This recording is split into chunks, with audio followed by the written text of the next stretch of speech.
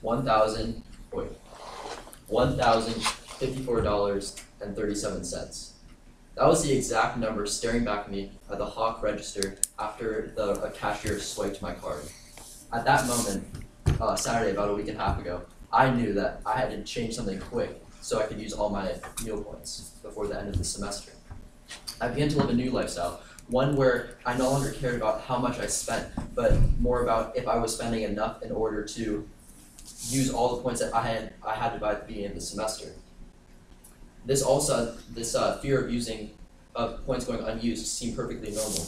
All my friends were talking about the same exact dilemma. They all had to get their points done before the end of the semester, before they were all taken away.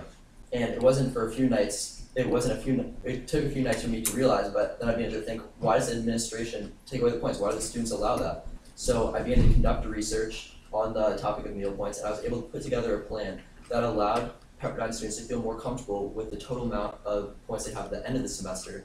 So, uh, because they have a new opportunity to help their own fellow classmates.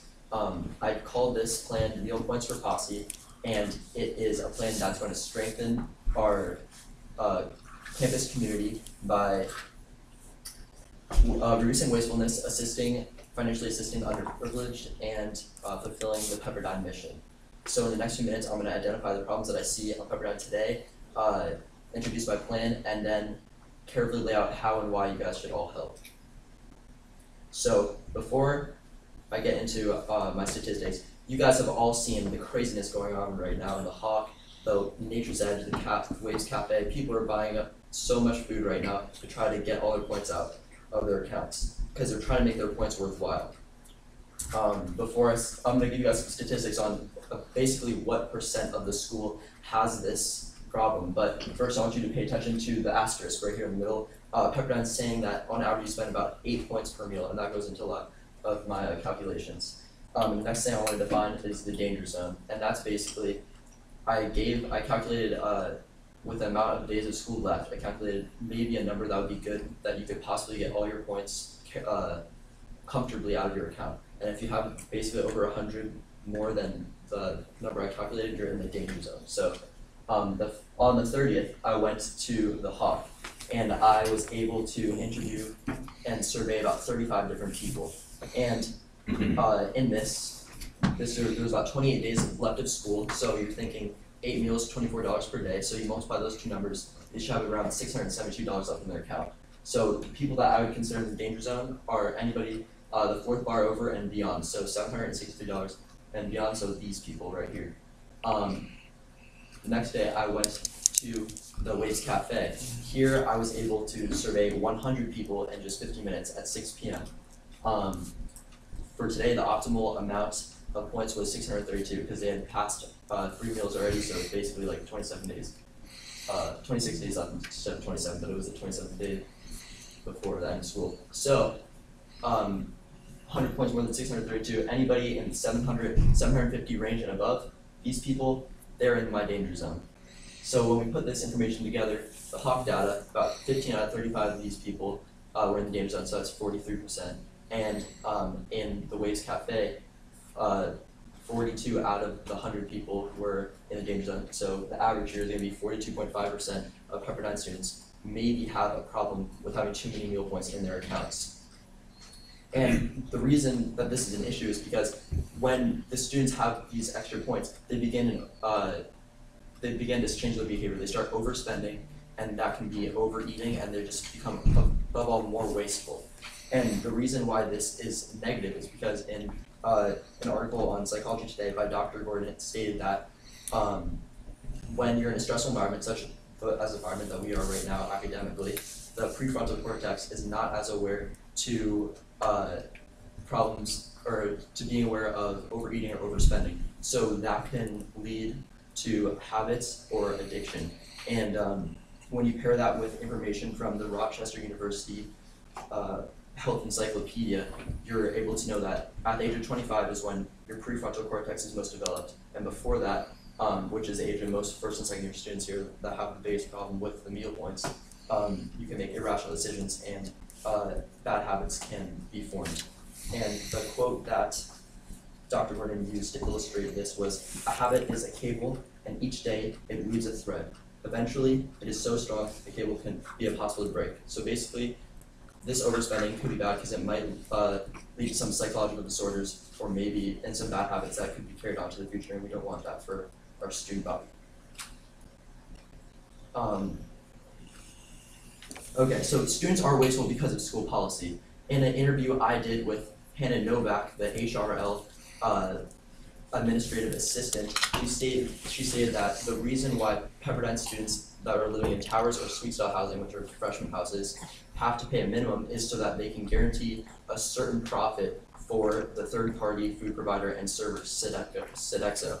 Um, but the interesting thing about this is that this minimum that they require from each of their students guarantees that revenue. So you have to think, well, there must be something extra, something left over, and there is. In the Pepperdine graphic, read a couple years ago in an article uh, titled "Where do your point?" Uh, I apologize.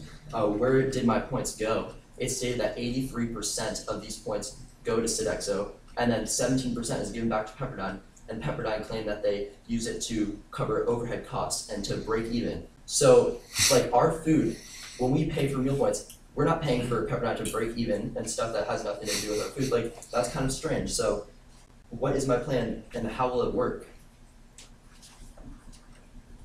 The plan that I devised is called uh, Meal Points for Posse, and uh, basically it's the ability for Pepperdine students to use their excess points to roll over for Posse scholarship holders. And a Posse scholarship holder is someone here at this college uh, that has worked with the Posse Foundation to gain uh, full tuition merit-based scholarship. And um, a Posse uh, makes up it's a group of 10 people from this region. Each there's 57 colleges that are part of this foundation and they each serve to the posse foundations that are in the area. So pepperdine only serves the la posse foundation. So they get 10 multicultural students to form one posse to a group of 10 people to go through all four years of schooling here at pepperdine. And there's one posse per grade. So pepperdine puts aside around oh wait let me do this first even more numbers so uh, with information that I gathered on collegefactual.com, it stated that the tuition is around forty-eight thousand dollars last year, and with three percent increase due to inflation, we can assume that's around fifty thousand dollars. So the uh, the tuition that they put aside for these forty members is around two million dollars for just this year alone, and that's very generous. But when they get here, they still have to face a thirteen thousand dollar bill for housing and uh, for room and board, and that's very big uh, especially coming from lower soci- socioeconomic levels. Um, so, um, basically, this meal for posse is going to roll over our meal points two hundred fifty dollars per semester for first and second year posse members that have to pay this uh, minimum amount of meal points. Um, to get this aid, we'll give them five hundred dollars per year, and it'll be realistically twenty members if they're living in towers or suite style housing. So it's around ten thousand dollars of aid given from the student body to the students uh, through the Posse Student Scholarship holders.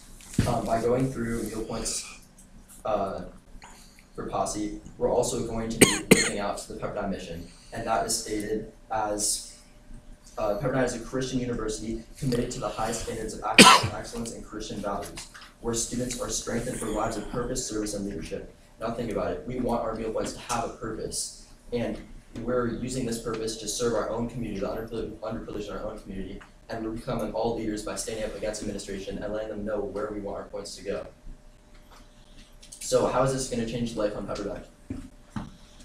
Basically, um, this policy will reduce the end of the year meal point spending hysteria here at Pepperdine because the meal points are going to hold a new meeting now. They're it's not uh they're if we don't use them they're worthless now. They don't they just vanish into midair.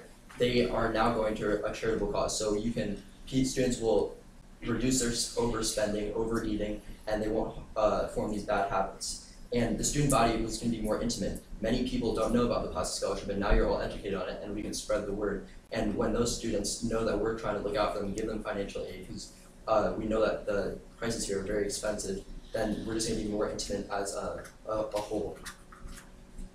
Um, also, first and second, first and second year students here at Pepperdine that have to pay this minimum amount for meal points might feel like they are like bound to Pepperdine. Like they can't leave because they have to get through all the meal points. They can't explore the their new city socially. So with this new opportunity, um, they will be able to not look at that having to eat as much at Pepperdine, but they can go out and explore new restaurants with new friends.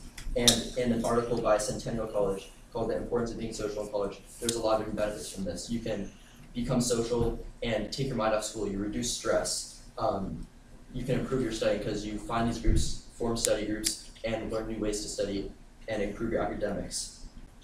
You can create college uh, connections for future jobs, and uh, you also can fine tune your social skills for your adulthood. Um, as I've laid out, meal point, uh, it is important to use meal points for Posse to benefit both Posse scholarship holders and um, and uh, the rest of the student body. Uh, meal points for Posse is going to be important to strengthen our community and also is important to fill out, fulfill the Pepperdine mission of becoming leaders and telling administration what we want with done with our money. Um, all that is needed for you is to act. You can go log on uh, to ipetition.com, search for meal points for Posse, and you're going to find my petition. This online petition will bring us one step closer to improving school policy for the better. And um, and so it's our money, it should be our choice. So nobody that has one thousand fifty-four dollars and thirty-four cents is gonna feel like they're panicked, like they have to change, and they have to get through all their points and they have to eat more.